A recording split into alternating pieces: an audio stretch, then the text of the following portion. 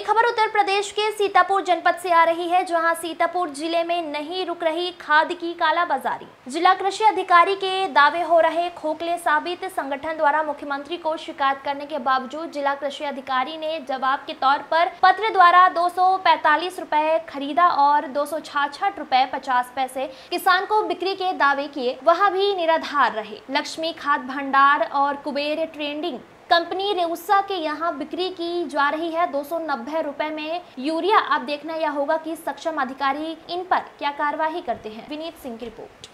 ये यूरिया कितने की लेके आए हैं? दो सौ अस्सी रुपये की। किसके यहाँ से लेके आए हैं?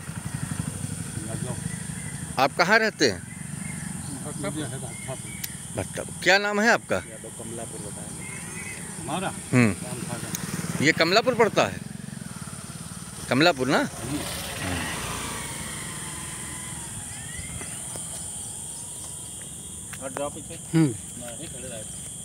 Matrix urea.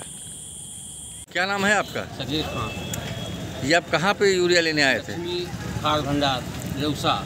ये चौराहे पे ही स्थित है? कितने की यूरिया आपको दो? दी सौ नब्बे। दो सौ नब्बे रुपये की यूरिया दी। क्या अ, यूरिया लेते समय आपका आधार लगाया था? लगाया गया। मशीन पे फिंगर आपने लगाई? क्या उसकी रसीद उन्होंने दी? नहीं दी। रसीद नहीं दी? नहीं दी। आपने मांगा तो उन्होंने क्या बोला? निकली नहीं रसीद रसीद निकली ही नहीं। रसीद निकाला ही नहीं।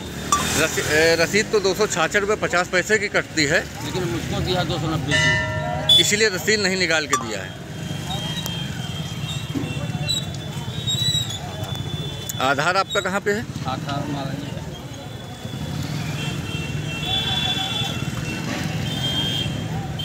ये आपका आधार है? यही आधार नंबर आपके ऊपर चढ़ा है? कितना समय हुआ है लिए, लिए हुए? बस अभी पाँच मिनट। तीन बज के पैंतीस मिनट पे। आज कौन सी तारीख है? तारीख इक्कीस तारीख। इक्कीस तारीख।